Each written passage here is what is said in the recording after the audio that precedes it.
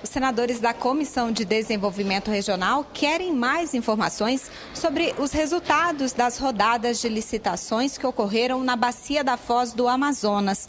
A área, que tem quase 261 mil quilômetros quadrados, fica no extremo norte do país, em uma região conhecida como Margem Equatoriana, que se estende pelo estado do, Amapá e também pela ilha de Marajó, no Pará. Ao meu lado, o senador Davi Alcolumbre, que é presidente presidente da Comissão de Desenvolvimento Regional e também representa o estado do Amapá. Senador, bom dia. Há uma expectativa muito grande do estado do Amapá em relação a essas descobertas né, para exploração de petróleo no local?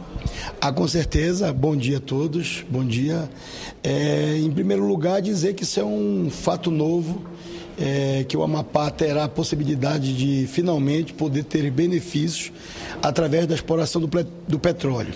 A gente sabe também que isso ainda está na fase de exploração, portanto, as empresas, as próprias empresas dizem que nesses próximos cinco ou oito anos ela pode ou não encontrar petróleo. Mas o que, que a gente quer? A gente quer saber, a par e passo, o que vai acontecer, como é feito esse modelo, até porque para nós amapaenses é um fato novo a exploração de petróleo na costa do Amapá. Portanto, é fundamental a discussão na Comissão de Desenvolvimento Regional, por conta de que os agentes estarão aqui hoje representando o governo federal através do Ministério de Minas e Energia, da Petrobras, da ANP. Os vencedores da licitação da 11ª rodada, as empresas que irão explorar, e posso citar entre elas a Total e a Brit Petróleo, e assim, os senadores do Amapá, os senadores da comissão, para debater esse momento novo que o Amapá vive e, claro, buscar viabilidade econômica, geração de riqueza, geração de emprego, geração de tecnologia, geração de conhecimento no Amapá. E é esse que é o nosso desejo, por conta de que os blocos de exploração estão nas na costa do município de Oiapoque, que pertence ao estado do Amapá, a 230 quilômetros mais ou menos de distância.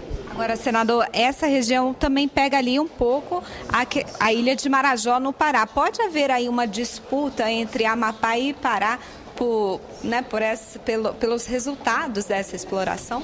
Na verdade, assim, tanto o Amapá quanto o Pará, quanto o próprio Maranhão, é, estão, de certa forma, lutando para fazer, é, constituir uma base para atender essas demandas, por conta de que a exploração de petróleo gera muitos serviços em torno da própria exploração e futuramente, se Deus quiser, se for achado petróleo na quantidade comercial, que é onde aí se dá o status de comercialização de petróleo, que é lá na frente, Lógico que isso vai gerar uma cadeia é, de conhecimento, como falei ainda há pouco, de mão de obra especializada, de utilizar nossas universidades, especialmente a Universidade Federal do Amapá, para promover essa integração e essa, aproveitar essa oportunidade para gerar conhecimento. Então, assim, gera uma cadeia produtiva que os estados estão brigando. Então, no, no nosso caso, nós vamos defender o Amapá e vamos lutar pelo Amapá, até pela posição é, da distância do estado do Amapá que está mais próximo.